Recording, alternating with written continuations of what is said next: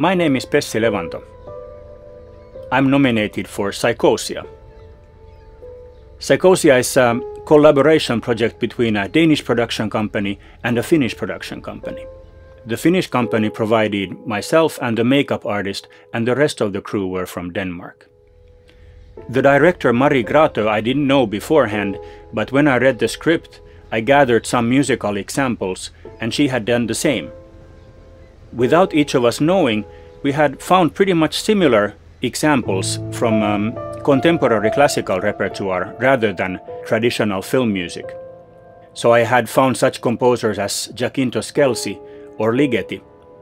And when she came over and I presented Scelsi as my idea of reference for her, she was really surprised because she had thought of Scelsi herself as well. Now, I don't know if the actual score has any resemblance to Scelsi now, but at least that set off our collaboration in a very nice way, as we knew that we were on the same page. Collaborating remotely was a bit of a challenge because we couldn't really meet that often, but we had long Skype sessions and just sent files back and forth. So eventually that's how the score came to be. This was a small art house film from a very Scandinavian artsy style. so we did, definitely didn't go recording Abbey Road, but rather just had a few acoustic instruments to play with, which I think matches pretty well the scope of the picture itself. So I made recordings from harp, female vocals, myself playing the piano and violin. Now I can't really play the violin, but that was exactly the sound we were after. I hadn't changed the strings for the violin for 20 years and it worked perfectly.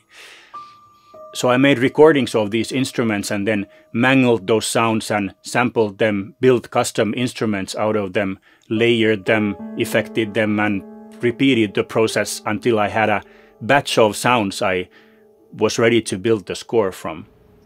And that's how it came to be. I sent a lot of different ideas and different small demos over and we sort of gathered the score from that, and, and I think in the end it worked quite well. Marie and the sound designer Matthias came to Finland to do the final mix. We kept making small changes until the very last day, but in the end everything came together quite nicely.